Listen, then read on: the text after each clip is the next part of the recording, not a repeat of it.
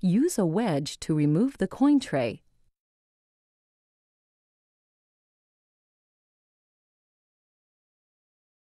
Inserting a tool in this position allows you to release the shift lock.